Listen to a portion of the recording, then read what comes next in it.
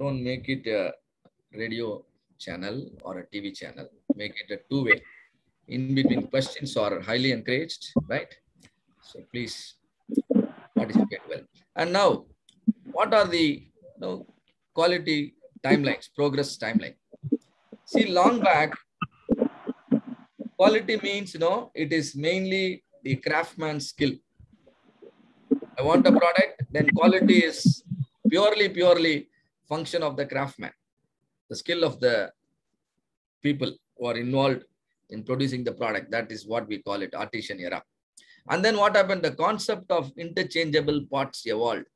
What is that? I produce products from different machines. I produce products from different plants. I produce products from different countries, but finally the result is same. That's interchangeable parts.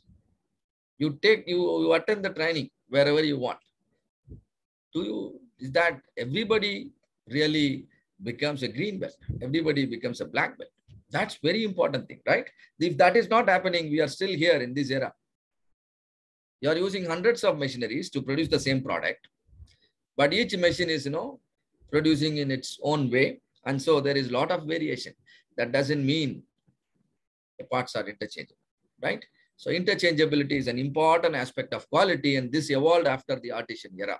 And then the concept of gauges came. Go gauge and no go gauges were developed to simplify you know, the quality control and inspection process, isn't it?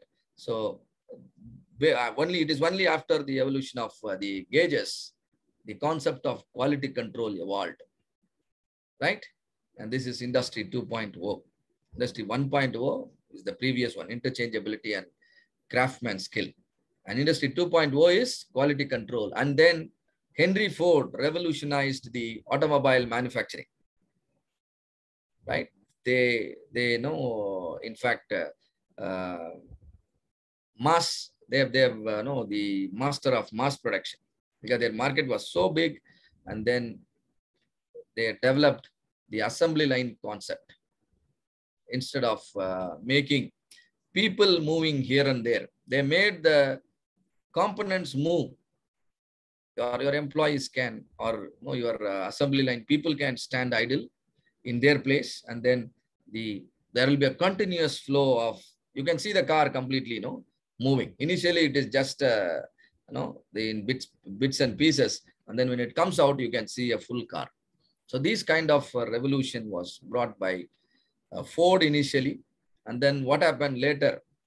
We all know the story of Japan, right? World War II, and then they have been hit badly by the atomic bombs, the Hiroshima, Nagasaki, and then entire economy is collapsed, industries are collapsed, and they wanted to restructure the entire Japan.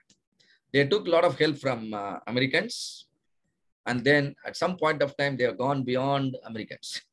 They have they've learned everything from the Americans in terms of the quality principles and philosophies, and then they challenged the American products with the level of quality they had in their products and services, right? And that's called Industry uh, 3.0.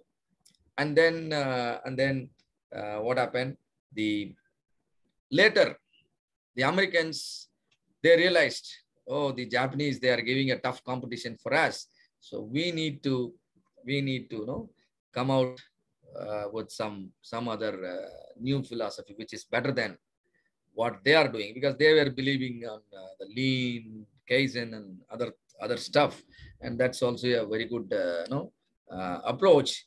But somewhere around the 1980s the american based company called motorola they embarked on the six sigma model. Right? Six sigma model. And that helped them. uh, Uh, beat the competition and then become number one. And then now you know the story, what is going on right now. Now everybody want to digitize everything. Everybody want to digitize everything, but that's good. Good, you digitize and see to that you are ready for the digitization. The ready for digit, the readiness for the digitization will be ensured by all these approaches. You make sure you your your organization goes through all these phases comfortably, and that means you are now ready for the digitization. If that is not happening, then definitely these approaches, what you learned in the recent past, the 3.1, 2.0 techniques can definitely help you do very well in the industry 4.0 techniques. So quality, certain uh, principles of quality, learning certain principles of quality is very important before learning any